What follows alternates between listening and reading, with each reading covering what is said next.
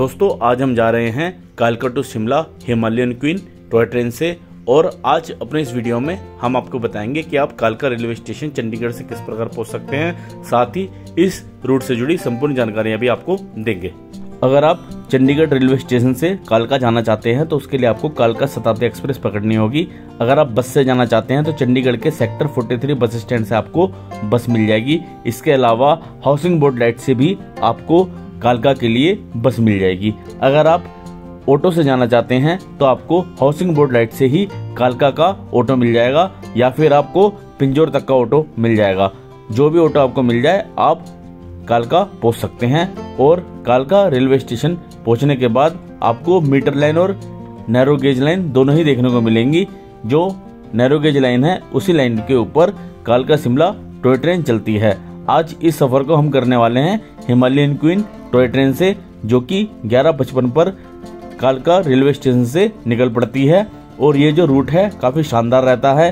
हम दोस्तों, सितंबर के महीने में ही कालका से शिमला गए थे और आप देख सकते हैं, पूरे रास्ते हमें बारिश देखने को मिली और पहाड़ पूरे के पूरे ग्रीन हो रखे थे, जिससे ये सफ़र काफ़ी शानदार रहा। अगर आप कालका, शिमला रेलवे ट्रैक की हिस्ट्री की बात करेंगे तो इसकी हिस्ट्री भी काफ़ी शानदार है।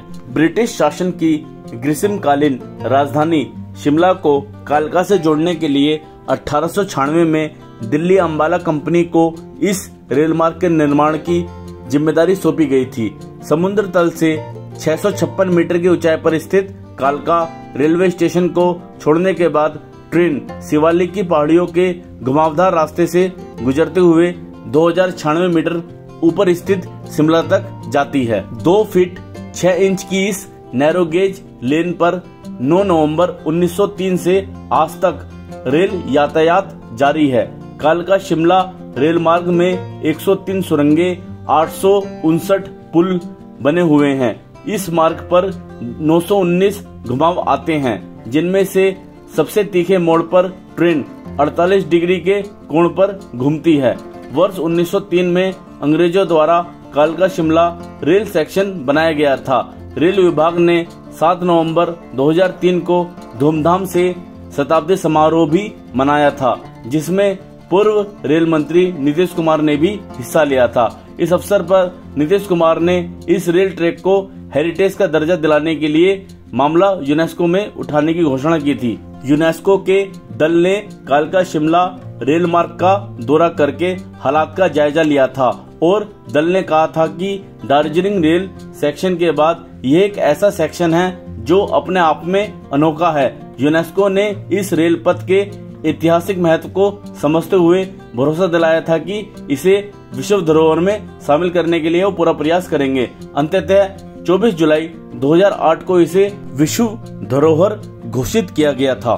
60 के दशक में चलने वाले भाप के इंजन ने इस स्टेशन की धरोहर को बरकरार रखा है और यह आज भी शिमला और कैथली घाट के बीच चल रहा है।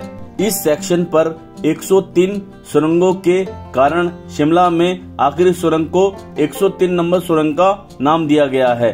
दोस्तों फाइनली हम शिमला रेलवे स्टेशन पहुँच गए हैं और अब हम ट्रेन से बाहर निकल रहे हैं। आप देख सकते हैं, शिमला रेलवे स्टेशन से आपको शिमला की वादियों के काफ़ी शानदार नज़ारे दिखाई देते हैं। साथ ही दोस्तों, यहाँ से आप जाकू स्थित हनुमान जी की 108 फीट की प्रतिमा को भी देख सकते हैं। और ये है शिमला रेलवे स्टेशन, जो कि रात को काफ़ी खूबसूरत दिखाई देता है। साथ ही यहाँ से आपको शिमला की वादियों के इतने हसीन नज़ारे दिखाई देते हैं, जिनको देखकर आपको सच में काफ़ी अच्छा लगने वाला है। इस तरह दोस्तों शिमला पहुँचने के बाद काफ़ी अच्छा लग रहा है, लेकिन थोड़ी ठंड भी है। अगर आप शिमला कभी भी आते हैं तो जैकेट जुकेट ज़रूर लेके आना, बिना जैकेट के काम नहीं चलेगा।